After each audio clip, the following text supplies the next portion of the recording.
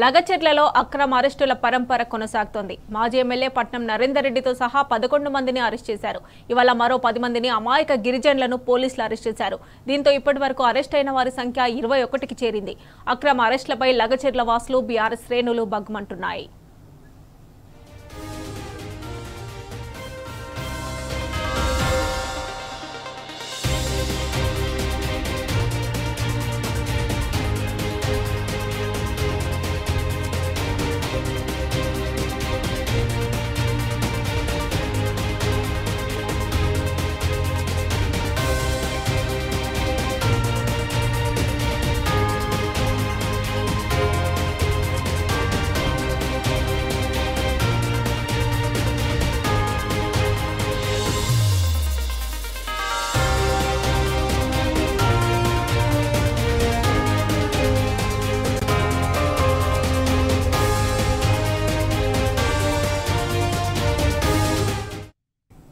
లగచెర్లలో అక్రమ అరెస్టుల పరంపర కొనసాగుతోంది. మాజీ ఎమ్మెల్యే పట్నం నరేందర్ రెడ్డితో సహా పదకొండు మందిని అరెస్ట్ చేశారు.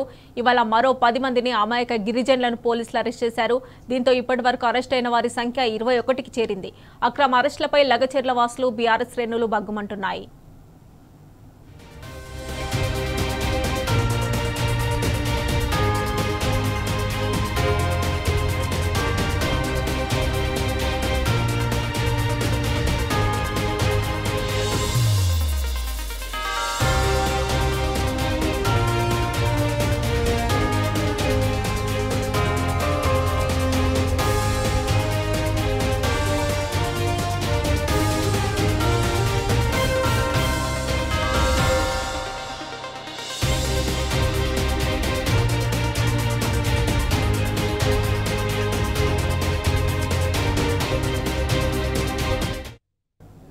ఇక ఇదే అంశానికి సంబంధించి మరిన్ని డీటెయిల్స్ మా ప్రతినిధి భాస్కర్ అందజేస్తారు. భాస్కర్ చెప్పండి లగచెర్రలో అక్రమ అరెస్టుల పరంపర కొనసాగుతున్నట్లుగా తెలుస్తోంది.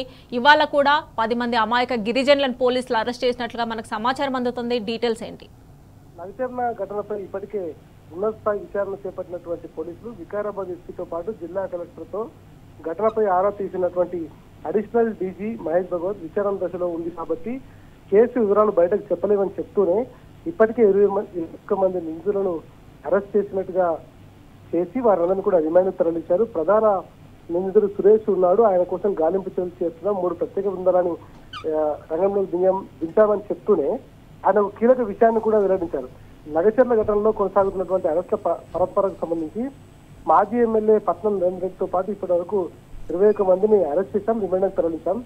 సంగారెడ్డి జైల్లో ఇరవై మంది ఉంచాం. చెల్లపల్లిలో నరేందర్ రెడ్డి ఉంచాలని చెప్పి చెప్పొచ్చాడు మొదట పరిగి సబ్ జైల్లో పదహారు మందిని రిమాండ్ చేయగా వారిని మరో నలుగురు నేరుగా సంగారెడ్డి జైల్లో కూడా మరణించారు. పరిధిలో రిమాండ్ అయినటువంటి పదహారు మందిని సంగారెడ్డి జైలుకు ట్రాన్స్ఫర్ చేశారు. ఇప్పటికే మొత్తం ఇరవై ఒక్క మంది రిమాండ్ చేసినటువంటి నేపథ్యంలో పోలీసు అదుపులో మరో ఆరుగురు నిందితులుగా తెలుస్తా ఉంది. కేవలం ఈ ఇన్సిడెంట్ పూర్తిగా గతంలో ఎప్పుడూ కనీ విని ఎదిగినటువంటి సందర్భం చంద్రబాబు నాయుడు ఉమ్మడి ఆంధ్రప్రదేశ్లో ముఖ్యమంత్రి ఉన్నటువంటి సందర్భంలో ఆయన చేసినటువంటి ఏవైతే ఆకృత్యాలు ఉన్నాయో ఆ ఆకృత్యాలను బేస్ చేసుకొని ఇవాళ కావాలని రైతులను అరెస్ట్ చేసి అ- అయినటువంటి అమాయకులను అరెస్ట్ చేసి పరిగి జైలు సబ్ జైలు ఉన్నప్పటికీ సంగారెడ్డి జైలుకు పంపించడం తర్వాత రేవంత్ రెడ్డి గతంలో ఉన్నటువంటి చెర్లపల్లి జైలులో ఎవరైతే రేవంత్ రెడ్డి ఓటుకు నోటు కేసులో అరెస్ట్ అయినాడో ఆ- జైలుకు నరేంద్ర రెడ్డి వంశం ఇదంతా పూర్తిగా కక్షపూరిత వ్యవహారం అనేటువంటిది బీఆర్ఎస్ పార్టీ ఆరోపిస్తుంది. ఈ నేపథ్యంలో ఇప్పటి వరకు రైతులను ఇరవై ఆరు మందిని అరెస్ట్ చేసినట్టుగా పోలీసులు డిక్లరేషన్ ఇచ్చారు. కానీ పోలీసులు అందరూ కూడా ఇప్పుడు కేవలం ప్రభుత్వంలో ఉన్నటువంటి రేవంత్ రెడ్డి మాట వింటూ వాళ్ళు వ్యవహారాన్ని కొనసాగిస్తున్నారు.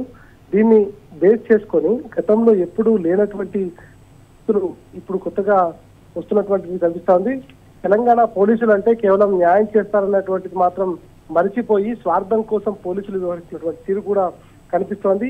ఎప్పుడూ లేనటువంటి విధంగా రైతులను అరెస్ట్ చేసి రిమాండ్ చేసినటువంటి ఘనకీర్తి కూడా పోలీసులకే దక్కిందనేటువంటి కూడా తీవ్రంగా ఆరోపిస్తున్నటువంటి నేపథ్యంలో. ఇప్పటి వరకు అరెస్ట్ అయినటువంటి మొత్తం రైతులు ఇరవై ఆరు మంది రైతులు అరెస్ట్ అయినట్టుగా చెప్తా ఉన్నారు పోలీసులు. ప్రస్తుతం ఇరవై ఆరు మందిలో ఇరవై ఐదు మంది సంగారెడ్డి జైల్లో ఉన్నారు.